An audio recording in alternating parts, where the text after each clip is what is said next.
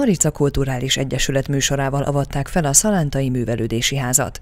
Az intézményt ugyanis egy pályázat keretében több mint 48 millió forintból újították fel.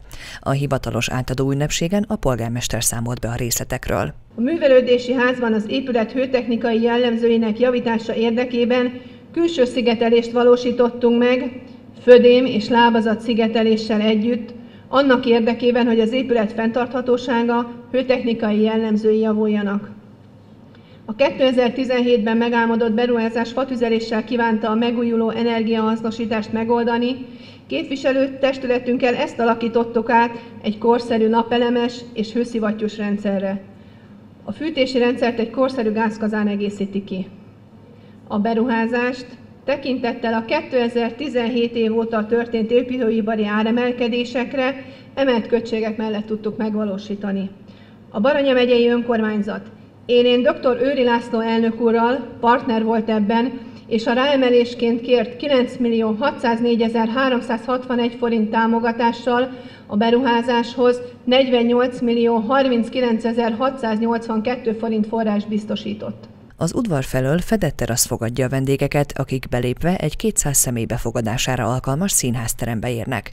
Az ingatlanban kialakítottak egy számítógéptermet, de könyvtárat is működtetnek, kívül belül megújult az intézmény. Hiszem, hogy ez ma mindenképpen egy olyan eredmény, ami hozzásegíti önkormányzatunkat a kormányzatnak, kormányzati elvárásoknak megfelelő energiagazdálkodáshoz. Településünkön fontos cél, hogy azok az épületek, melyek a helyi lakosság számára jelentenek egy fontos találkozási helyszínt, illetve lehetőséget különböző programok megszervezésére, korszerű energetikai színvonallal rendelkezzenek, ezzel is kapcsolódva a hazai, illetve az Európai Uniós irányelvekhez, hozzájárulva az épület hosszú távú környezetbarát fenntarthatóságához is. Szalánta akkori vezetése is hasonlóan gondolkodott, amikor ezt a beruházást megálmodta, Érén Dunai Zoltán polgármester úrral.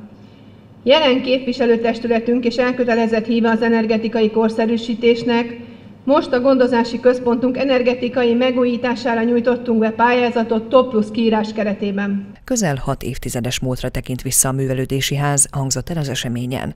Ezzel a beruházással most a felére csökkennek a fenntartási költségek. Azt mondhatom, hogy minden olyan beruházás, amely az energia hatékonyságot célozza meg, az valójában a jövőt segíti, és a helyi közösség fejlődését készíti elő. Nem véletlen, hogy most, amikor Magyarországnak olyan kormánya van, és ez a megyei közgyűlés partnerségét, Nagycsab országgyűlési képviselő úr partnerségét is jelenti, amely segíti és támogatja a vidéken élő közösségek megerősítését, kiemelt figyelmet fordítunk arra, hogy a vidék ezzel az energia eh, válsággal, háborús energia válsággal sújtott időbe is meg tudja őrizni a megtartó erejét és a fejlődésnek a képességét. A fejlesztések között az egyik legfontosabb az energetikai korszerűsítés, hangsúlyozta Őri László. Azt is mondhatom, hogy a szalántai fejlesztés az beleillik azok abban a megyei energetikai fejlesztési folyamatba, amelynek részeként Baranya szerte az elmúlt években 82 helyszínen 5,7 milliárd forint értékben tudtunk középületek energiahatékonysági beruházását támogatni.